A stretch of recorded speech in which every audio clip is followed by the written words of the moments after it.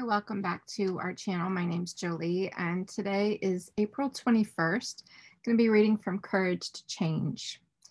This reading, if you're following along, is on page 112. And um, and Kitty, Little Moon's here with us. Say hello. she doesn't want to say hi. That's okay. Maybe she will later. All right, so here we go. Let's get reading. So page 112, April 21st. Something I've come to appreciate in Al-Anon is our unity in diversity. Tradition 4 says that each group is autonomous, free of conduct meetings in a way, free to conduct meetings in any way that suits its members as long as it abides by the traditions and doesn't harm the overall unity of Al Anon. So some groups stick to the suggested meeting format. Some groups uh, use a slightly different structure.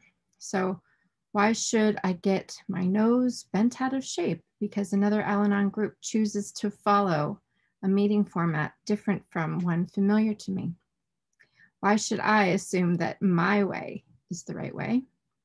And when I remember to keep an open mind, I find that the principles of the Al-Anon program remain exactly the same, no matter which group or city I visit. So each of us plays an essential part in this remarkable fellowship, supporting one another as we recover from the effects of alcoholism in our lives. With this solid foundation of love and support our individual differences can only make us richer as a whole. And today's reminder it says, In the perfect order of my higher power's world, all things are beautiful. Again, in the perfect order of my higher power's world, all things are beautiful. So I will pray to let go of my own rigidity I pray to let go of my own rigidity, because that's all I can do uh, with the help of my higher power, so that I might see the beauty of unity in diversity. So um, there's a quote from Ralph Waldo Emerson, and it says, A foolish consistency is the hobgoblin of little minds. That's a great word. Hobgoblin. Hobgoblin. Hobgoblin. so, all right, again, a foolish consistency is the hobgoblin of little minds. Okay, Ralph. So I don't know what a hobgoblin is. Goblin, but it just sounds silly. So let's just move on with that. So maybe I want to hear what you guys have to say about that quote from Ralph Waldo Emerson. So it's good for me, like I can appreciate the diversity um, in, in all the different uh, meetings and people that are in Al-Anon because uh, we all are, we all have our own stories and differences, but we all have that unity of purpose, which is to recover one day at a time from the effects that alcoholism has has um, brought into our our life story. And um, we can be there for each other because we can maybe you know like today i was at a meeting and i was able to relate to the speaker. Um, there was a, it was a speaker meeting and i can relate to her story. It wasn't my story but it was very similar. So i was like okay. I felt like somehow we we're united, though I would have never met her any other way. We don't run in the same circles.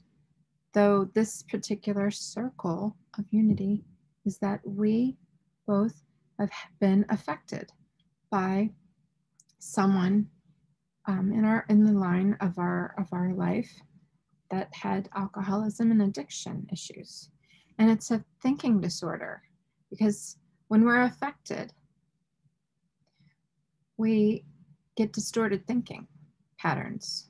We have codependent patterns because we're we, become the adult when we're a child. To, we become the caregiver maybe to our to our parents or um, we have to take care of our brothers or sisters um, and then there's weird resentments in that case right because we resent having to take care of them maybe or the brothers and sisters who we took care of resent us.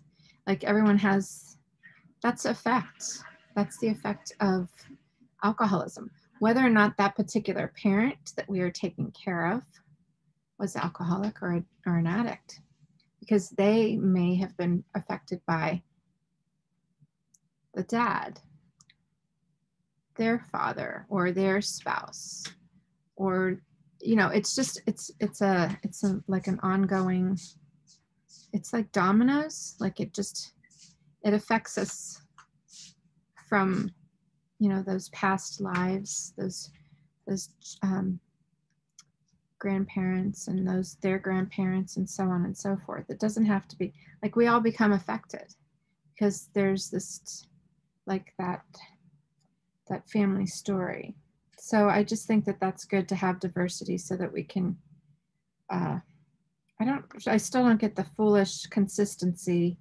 is the hobgoblin of little minds I'm gonna have to think about that one. So please comment, please like so that other people can find this this uh, this content. And um, I added this reading for today because the other two books have already been up, and those are Hope for Today and One Day at a Time in Al-Anon. Those so if you would like those readings as well for today, just go into the main page go into the search button and just type in the date and it'll pop up the readings for today, as well as the other days if you're looking for, because there are 365 days in this year and each day has readings. So I'm just um, uh, doing an inventory of trying to make sure that I have all three of those books for each day.